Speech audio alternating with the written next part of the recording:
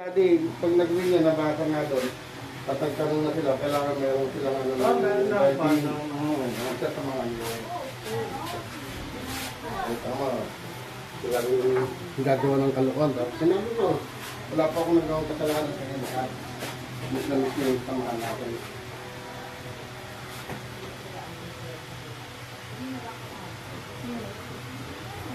Sino yung, ano, yung, yung babaeng nakahiga na, ano? Kapatid ba yun? Ah, Yun, yun, Oo, kapatid yung. Ano Yung, yung niya? nakaupo, yung pinsan ko, si Ate Marlene, taga Project 7. Ano yung Pin, pinsan naman niya sa, pinsan naman niya sa tatay yung, yung ano, yung, yung si, si Cynthia. Ano, tulong. Kaso ang bilis. Nung, nung February, di ba pumunta ako sa Project 7, may kain na kami magpipinsan.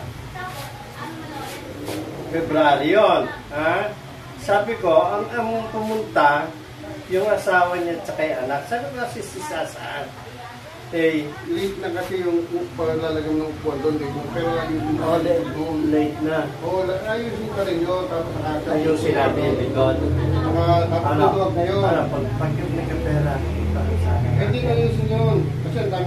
Dito na may Balon pang to eh. Nung mga sabi niya, nakot ko sa doon, ang baho masyado. Eh, kasi nga kulay itim na yun, bulok na. So, tanong ko sa'yo, may bukol pa ba? Hindi po bukol yan, taing tumigas yan. Dahil- Apat hindi mo nadudumihan, kumakain ka, naiipon. Na, naipon yun, kapal ng kapal yun, Oo, syempre. Pero yung nasa ilalim mo, kulay itim, nakasibulok na yun. Meron ba, o kaya pipigilan. Natukod mo ba takot? Ano nangyari ito? Natukod mo? Hindi ko alam. Yata, sa pagmumuto. Oo. Ito, Ah, ano, ano, ano, naramdaman mo? Oo. Yun na. Nararamdaman ko. Nagrabot. Hindi, meron pa yan. Harap ko dito.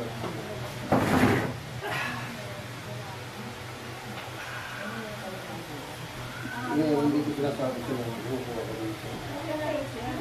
Hindi ko sinasabi yan. Kung may mag... Tama yung namin mo. May pambayad ko ba?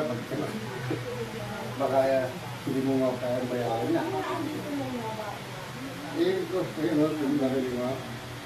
Lagi na, na higla na siya, nabitalan.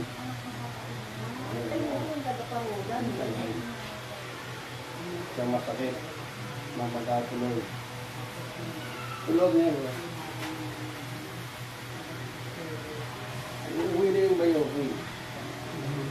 Galing. Singapore. Sa Australia? Sa kanya yun, Lambot eh. Sarap ba? Sarap. Sarap. Sarap yun, no? Tumutunog ko? Ayan, muna. Ah, ayan na, tingnan mo. Ba't pagbibigyan mo kumusta? Pati nga ako meron pa. Ay, kasi na ano yan na magana siya. Ngayon, pag may maga, talagang meron pagsakit yan.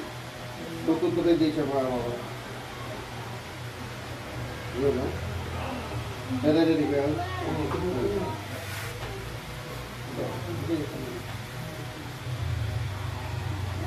Yung sa tracing nga, oh, sampu lang ang usapan. Eh, bago na si kwento mahigit eh. Kasi nung nakita nung Muslim na nakalakad yung kanilang Muslim, hindi naniniwala yun. Eh, nakita niya nung ganyan gusto nila invite sa ano, sa Marawi. Kasi mga Maranaw. Mababait yung mga Maranaw. Kasi mga ano yung nagbigot siya. Ang mga tausod, mga hinag na.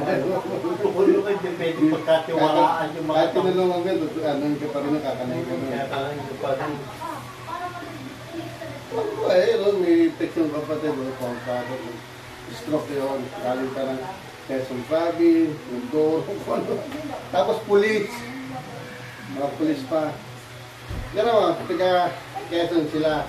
Ang nag-recommend dati taga Mindoro, ako taga Mindoro, kasi kasama nila sa akin. Nabalita ka, oh, bakit nakalakad ka? Meron akong kilala doon sa Medasma, punta ka. Sabi ko, pwede ba pumunta ka? Sinabi, sabi, pwede ba pumunta doon? Ay, siya dito. Eh, sinabi ko, 2-5 po pupunta kayo doon. Sabi ko, hindi na lang po. Ay. Hindi na ako meron pa. Hindi, siyempre, ano. Pati lang, hindi na sa ganun. Oo, Ay, ganun. ano Pati, na. pati pag hinama niya bro, maluwag din. Hmm. Kasi? Oo, May, buo ko. Oo, yung maluwag niya. Kasi may tama dito siya, eh, dito siya naiipit, dito siya may tama. Bro, ilan yan? Eh, tagal na ako, hindi ako nakakapunta eh. 21. Tagal ko lang. Sabi ko, pag wala akong pera, eh, baka mag-gas pa ko to.